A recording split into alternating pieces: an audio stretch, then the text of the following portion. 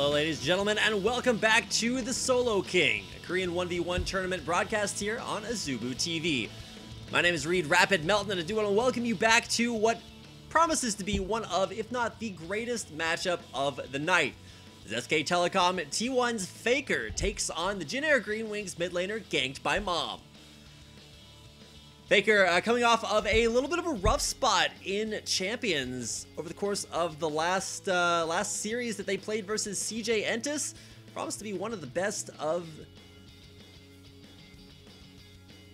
the year. Um, I remember the first time they played, everybody, uh, the unanimous thought was that SKT were better, but uh, we'll see if that proves true. Here in game number one, Faker versus Ganked by Mom.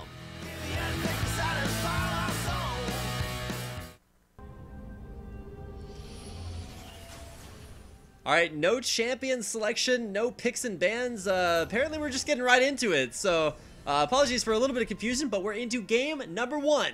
Faker versus Ganked by Mom.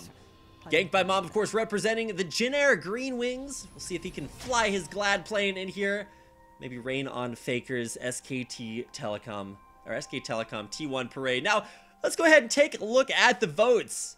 If you have ever voted against Ganked by Mom in a matchup, um, there's some questions to be had about that. But as far as Faker is concerned, it's really hard to vote against the uh, the unkillable Demon King. we'll see if he actually is unkillable. Uh, interestingly enough, not unkillable this tournament. I believe he had a uh, a loss to Samsung's AD carry Wraith in their uh, their first round matchup in the group stages. So not impervious to uh, to dropping a game here or there. We'll have to keep an eye on that. Me see how things shape up. As far as the head-to-head -head goes for this specific matchup, Faker versus Ganked by Mom. As far as creep score goes, Ganked by Mom has played overall much longer games in lane. Uh, it has a total of 317 minions killed over the course of his five games played in the group stages, whereas Faker, with only 192 minions killed. Much less creep score, of course, that is because Faker kind of likes picking up first blood a little bit. Out of the four games that he won in the group stages, three of those were victories by first blood. Of course, one of those was a victory by tower kill. Now, kind of the mythos behind Faker here, specifically in this matchup, is that he has not lost a competitive game on LeBlanc. He has uh, got a big zero in that loss category. So it's going to be interesting watching him play here against Gank by Mom's Lulu, because while this isn't necessarily a 100% you know serious 5v5, you know, for a trip to Worlds kind of matchup on the line, it does represent a 1v1 versus one of what was at the time uh, a very up-and-coming mid laner in OGN. And I think after sort of proving himself as one of the better mid laners in Korea, I hit some ups and downs. And uh, specifically in this matchup right now, Cake by ooh, does actually block. With that Help, Pix, uh, a lot of the damage that Faker is dishing out there with that level 2 combo. Sigil of uh, no longer silence, Sigil of Malice. I remember when they changed Sigil of Silence to Sigil of Malice, I was like, nobody's ever going to play LeBlanc again. She's done no longer uh, viable champion. And then, of course, you know, Faker's just killing everybody with her, and you kind of get the idea. Able to make some good stuff happen. Already almost out of mana. Should be seeing him use that mana potion here relatively soon. Of course, after he gets done with his crystalline flask charge. Drawing that minion wave away from his turret. He's actually taking a lot of hit points in damage. Uh, Faker trying to make them fight the jungle creeps. Nobody does save them from out of range of the turret. And that is the first trip back to base by Ganked by Mom. He'll teleport back into lane, but Faker saves every single one of the minions. He's like the Pied Piper of the Solo King. He's playing his magical flute. I guess he's not a flute-based champion, but you get the idea. Leading the band of his, uh, maybe he's like Robin Hood. He's leading his band of merry minions off through Sherwood Forest, or the jungle. Does lose one CS under turret like that, but should be able to pick up the majority of these. He Even gets that one now only down one CS versus ganked by Mom as the lane resets slightly on Faker's side of the lane.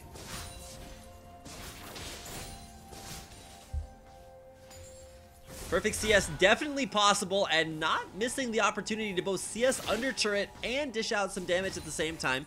Sacrifices one CS for the greater good of picking up the next two. And because this is a cannon minion wave coming into lane, it's a good time to go back because it'll take Gank by Mom maybe a little bit longer to kill it.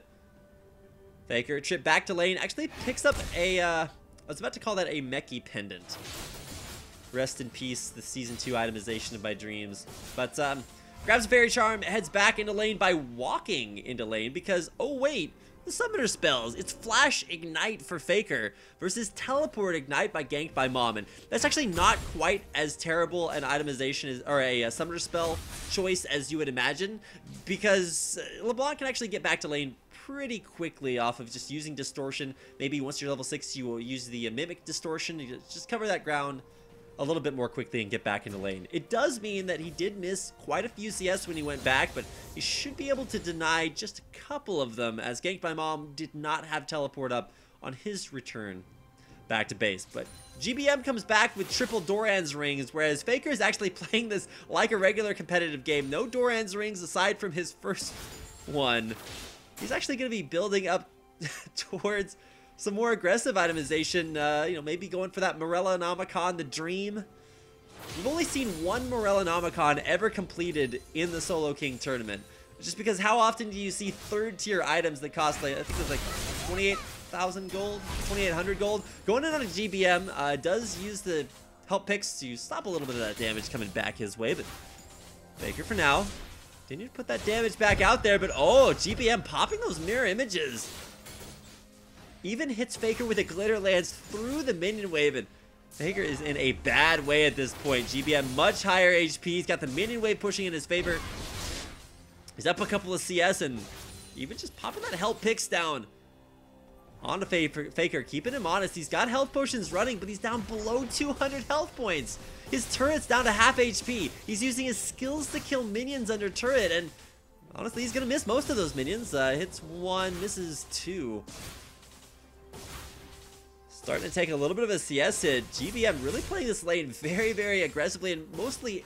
We've already seen two failures on Lulu today, so Lulu not having a good day as far as the Solo King tournament's concerned. Faker actually giving up a CS just to make sure he hits that next one. Down three.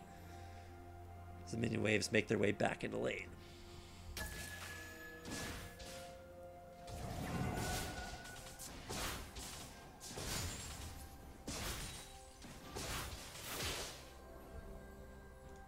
Now GBM at this point, he's uh, up to CS, and Faker is going to have to play this lane. I, I don't want to say for keeps just yet. He does have that Ignite, but so does GBM. And while Gank by Mom may not be able to flash away, he does have so many defensive options. And honestly, Lulu mid was initially popularized as a pick uh, away from that... Okay, Chain does not land ethereal or otherwise uh, on the Gank by Mom. Lulu came into popularity as a mid lane champion in sort of what they call the League of Assassins, not the uh, not the Arrow League that is swallowing up everything Oliver Queen knows and loves, but uh, the uh, the League of just nothing but assassin players mid lane. Turns out when you run a champion with so many defensive options that it stops that. I'm not sure why Faker is backing right there. Maybe trying to make okay missed GBM completely. Now Lulu gonna take a trip back to base. Oh, Chain does stop it though. So Faker being extra annoying. Trying to keep Lulu from backing as long as humanly possible.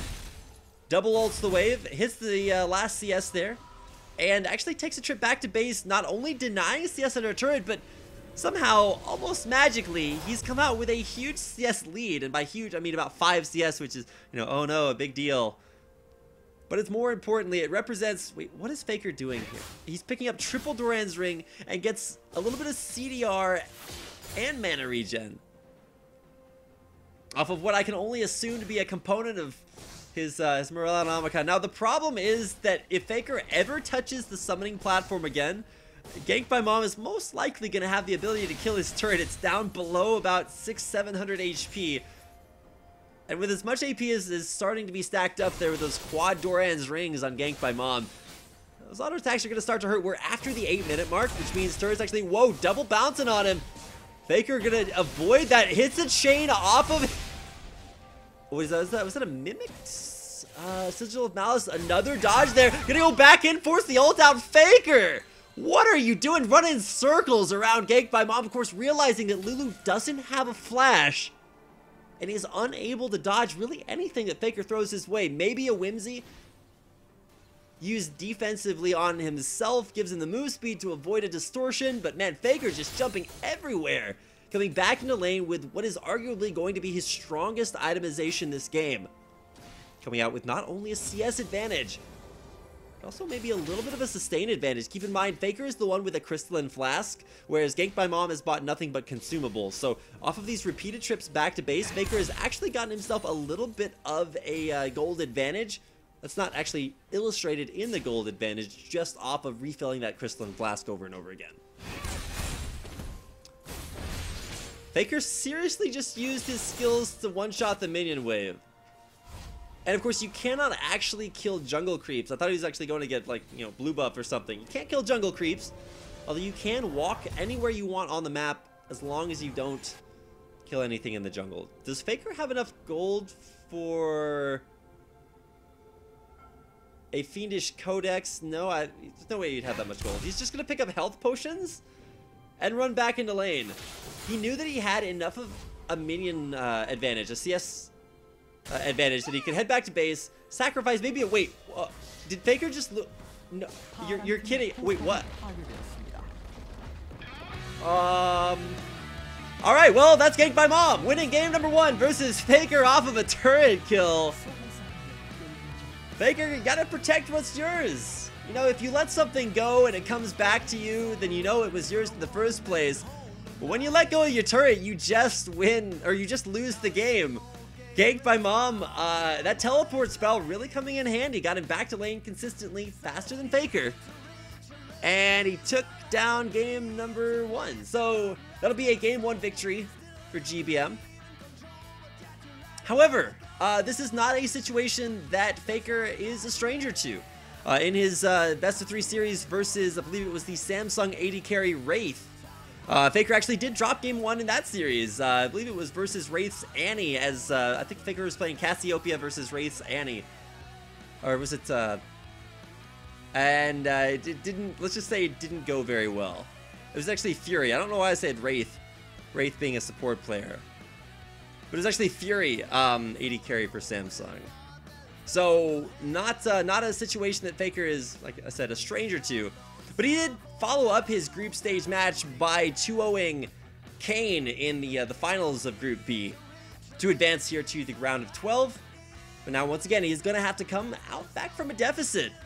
Faker loses this game, and he's out of the Solo King, a tournament that a lot of people saw the champions, saw the players, and were like, Faker, this tournament saw the players, and were like, Faker, this tournament's made for you. But now, going through a champion pick and ban phase, once again, if you notice Faker's bans, it is Garen, Galio, and Gangplank. Uh, these are the first three champions in the Korean League of Legends client. It would be similar to banning like uh, Ahri and Akali and Anivia. Kind of the same idea. You just ban the first three champions because Faker doesn't care what you play against him.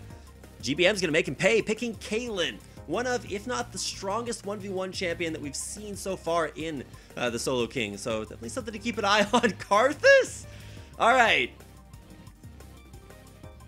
We'll see what happens here. It does look like it's locked in. Can't tell. Sometimes that shade changes a little bit. But it does look like Faker has locked in Karthus versus Jin Air's Ganked by Moms Caitlyn. Now, uh, Caitlyn we've seen time and time again. I believe we've only seen one Karthus and it wound up losing if I'm not mistaken. Um, but Faker picking up Karthus here versus Gank by Mom. I don't, uh, I don't think you can get a much, many more options than you have on Caitlyn. On uh, Caitlyn, she's got such long auto attack range that if you want to win by CS, you can do it that way. If you want to win by just shoving the wave in and getting turret damage down, definitely a viable uh, viable win condition. And of course, if you just want to kill the guy, headshots, and of course that same range and auto attack harass in lane is just going to be immense to deal with. So we'll actually have to take a look at the runes and masteries here in just a second and see what Faker's running as far as those are concerned. Now, uh, for Karthus, his passive is uh, maybe a little bit unhelpful because if you're using Death Defied, well, can't defy death forever, and usually it means that you lost. And as far as Requiem's concerned as an ultimate, uh, a little bit less effective. Functions like an unblockable uh, Caitlyn headshot here, so kind of the same idea between ultimates, actually. uh, when it comes down to it. Nobody to block the ace in the hole on Faker, but of course Faker doesn't have to be in range of uh, GBM to, uh, to use Requiem. So we'll get a chance to see how that works out. I'm actually really excited. I hope they show us the runes and masteries. If not, I think we're actually going to take a uh, quick break to see how both of these players got to the round of 12 in the Solo King.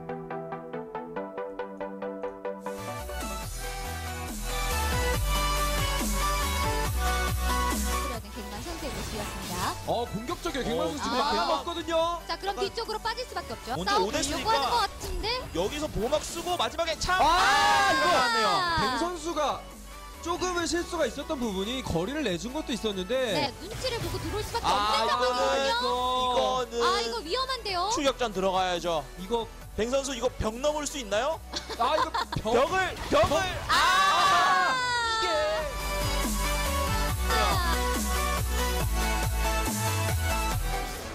밀어내겠죠. 자, 나오나요? 한타? 보호막 같이 보호막 있는데 아 미니언 쪽으로 밀고 미니언이 네, 아, 아. 역시 그렇습니다. 이거 깨질 수도 있다고 보이는데요. 자, CS 챙기고. 네 이게 벽에다가 이게 벽이 아니죠. 네 포탑에다가 지금 내 병사 스킬 쓰면은 네. 터져요. 아. 이거는 아 이거 이게 빨리 와야. 되는데. 자, 경기 끝날 수도 있겠는데요, 갱만 그렇죠. 선수. 이게 진짜 무서운 아, 건데. 둘, 셋! 네, 경기가 끝이 나게 되겠습니다. 근데 지금까지는 잘해주고 있어요. 네. 어, 어? 이거. 아 이거 약간 예측을 한 건데 너무 멀리 봤죠? 네. 점화 걸고요. 자, 여기. 얼음 밝히기 아, 썼고 어, 어 이거, 이거, 전멸 이거. 썼는데 페이커 선수 한번 잘 찍었죠? 아, 자, 그러면서 얼음. 파편 아 그냥 평타로. 이때요. 자, 6분 아, 아. 됐고요. 야, 이거 이거. 근데 어그로가 저쪽으로 안 넘어가는 구도였죠? 네. 오, 오! 이거. 이거 아 이거는 아, 야. 아 아, 이거.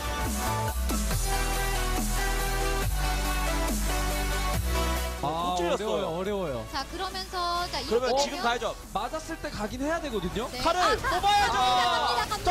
감독선 걸고. 그리고 점화 아, 소마, 킬각! 소마, 킬. 킬 킬 킬 킬 나가요. 아 자, 이거, 그러면 이거 마지막 위험해. 아직 한 발 아, 남았 마지막 한 발. 아, 피했습니다. 자, 그러면서 오히려, 오히려. 어? 자, 공격을 해보는데 뒤쪽으로 살짝 뺐어요. 오, 이거는 모르겠는데요. 자, 자, 빠. 아 자. 아, 끝나요. 이거 포탑. 이게 아지르는 포탑 미는데 좋아서 네. 하는 것 같은데 그렇습니다. 자, 6렙. 자, 페이컨 6렙 기다리고 어, 있어요. 어, 티버. 됐고. 자, 일단. 어 스킬이 약간 미스 난 것 같죠 방금? 어, 티버, 티버, 티버 아파요. 티버, 아, 티버 어, 펀치. 쫓아가요, 티버. 쫓아가요. 티버. 자, 티버. 티버. 자, 허리띠 두르고 있는 상태거든요. 일단은 한 번 중풀자를 까는데 생각을 해야 될것오 같아요. 설마 그냥 티버. 자, 보. 중폭 시작을 보고 그냥 끝장을 어, 내겠다 자, 여기서. 야, 중풀자는 아. 있는데.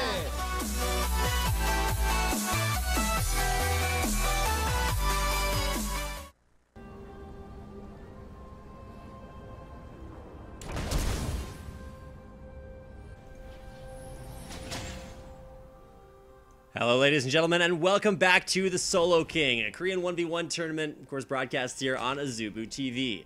My name is Rapid, and I'm excited to bring you game number two between Gank by Mom, who's actually up one game to zero versus Faker in this best of three series. Now, Faker bringing out the Karthus, a champion we haven't really seen a lot here in the Solo King, primarily uh, just because there are so many other champions to go to. So when Faker picks it, you know he's got something good in mind. And the idea with Karthus here is that he's going to be able to uh, probably just go for that CS win versus GBM. Uh, probably not looking for too many champion kills. Might be able to take down turrets if he can shove the wave quickly enough while GBM is back in base. But if you look at the summoner spells too, there's a big difference. It's teleport exhaust for Faker, whereas GBM is going for the teleport flash. That does mean if Faker is ever, you know, in a close range 1v1 kind of combat, not only does that mean that Caitlyn's going to deal less damage to him, less attack speed too, it means that it's easier to hit those Skittles when they land. So GBM starting out with a uh, four potion start along with the Crystalline Flask, waiting in base for that extra 10 gold to pick up an extra potion, uh, whereas Faker just going straight up Doran's ring. Does not care about getting that Crystalline Flask value, he is just going to sit in lane, See what he can get done. Now, waiting off to the side just to make sure he's not being flanked. Uh, I believe it was Zepha who actually came up with this really weird strategy where you, as an AD carry, you walk around the corner and get off several free auto attacks in lane just to sort of establish that lane dominance. But see what Faker has to say is Karthus versus Caitlyn. Lane phase is underway.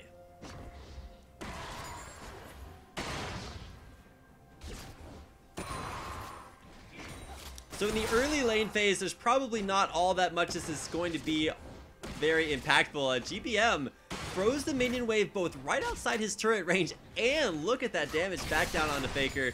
Even hits him with that Piltover Peacemaker too. It's still keeping his CS up. So very, very well done there by Gank by Mom. Talking to the uh, the admins, you can see there's actually two champions in the game right now, uh, Chuds and Shu. Uh, tweeted at Chudnator, who almost killed Faker after he won his 1v1 matchup. He teleported mid and tried to kill him immediately, but the game actually ended before he could do it. So this time around, Chuds told me that regardless of who wins, as soon as the game is over, he is teleporting mid and trying to kill Faker just so that he can like, you know, put that on plaque, put it up on his uh, on his mantle or wherever you put plaques that you killed Faker.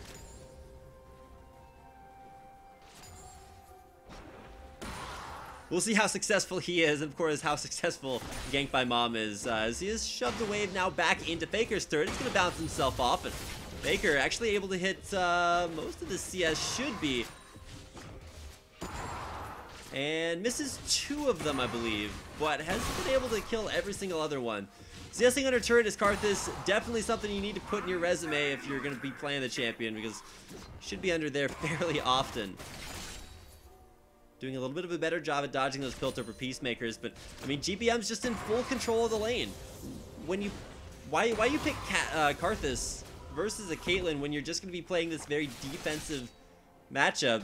Uh, it's not something that's going to go his way in the early game, at least, but... If there has ever been a uh, hashtag things Faker does, it is come back from situations you don't necessarily expect him to, but at least for the time being, he is down about 5 CS, He's going to be down some HP as well uh, on his turret as that minion wave pushes in. Although, uh, not that big a CS differential. It's only 3 CS, so... Crisis averted, guys. It's only 3 CS. Lane phase continues. Some Caitlyn traps starting to be dropped out there. Exciting CSing. This is going to be one of the most action-packed matchups you've ever seen. It's not like it's LeBlanc versus LeBlanc or Lee Sin versus Lee Sin. It's Caitlyn versus Karthus. I don't know if you guys uh, saw on uh, Steam sale, Farm Simulator 2015. We get a little bit of a preview. This is this is them playing the demo of that game uh, right here. It's uh, I would be very surprised if this ends in anything other than a CS war. Maybe turret kill if uh, Gank My Mom can put enough pressure onto Faker, but uh, something tells me Faker's going to be struggling just a little bit. Actually not letting that wave hit his turret, doing a good job at CSing it away from there. Has put three points into Q and then one into everything else, so has put a point into Wall of Pain, which is kind of interesting, uh, considering that that skill won't be actually very useful until he's either looking to kill Gank my Mom by slowing him out and reducing his magic resistance. Might be using it defensively too if uh, GBM decides to position a little bit too aggressively in lane.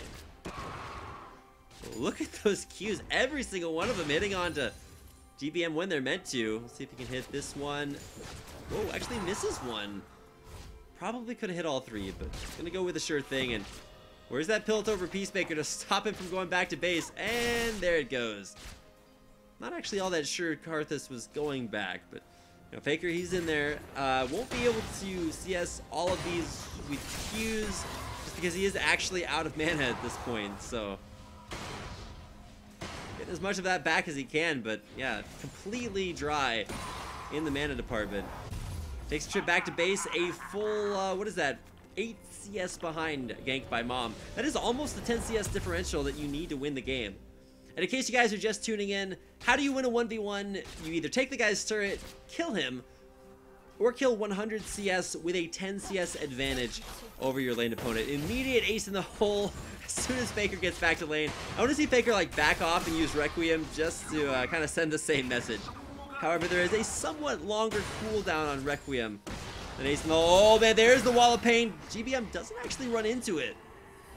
And of course, uh, Faker avoiding those Yordle snap traps as they get placed in lane as well. Now, the biggest problem for Faker to watch out now is probably just Piltover Peacemakers hitting him, and of course, keeping up that CS.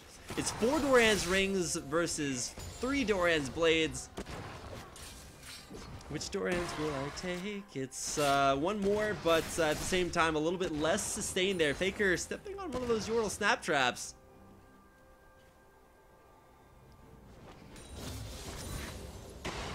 Not necessarily uh, you know, the best option. There, there's the Requiem. Just gonna use that like the uh, like the pill to, or like the uh, ace in the hole. Get down some free damage. He's actually placing those cues a little bit behind there. Tries to predict the uh, 90 caliber net backwards, but does not quite have that down.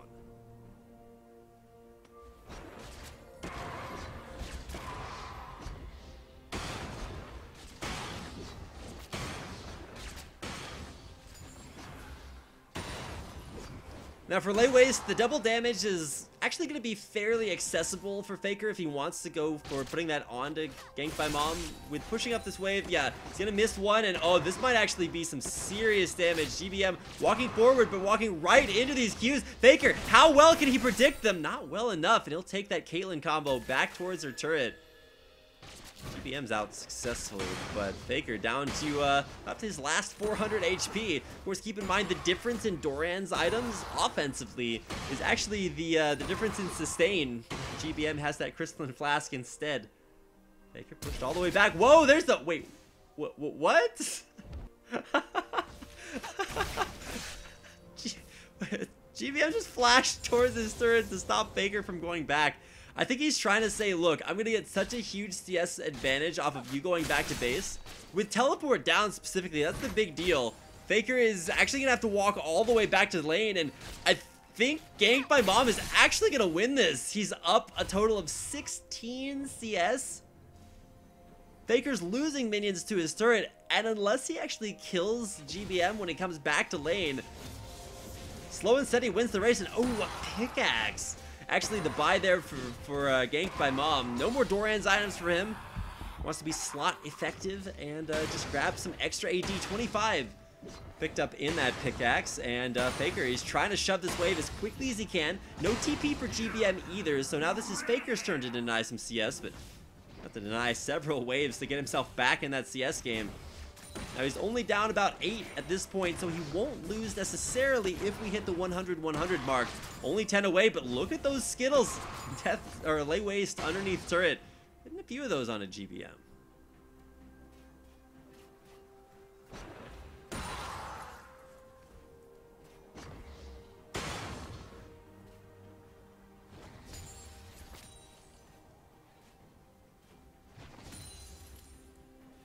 Every CS matters narrowly uh, sort of balancing on that 10 CS advantage.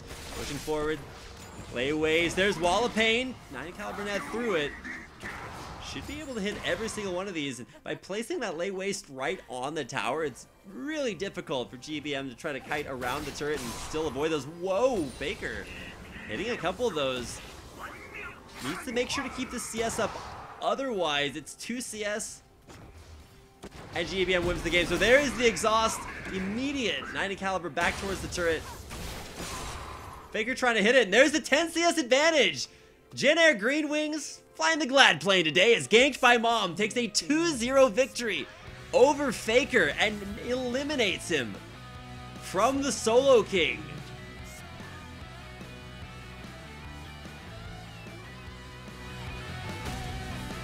GBM, uh, somewhat anticlimactically, but just perfect lane management.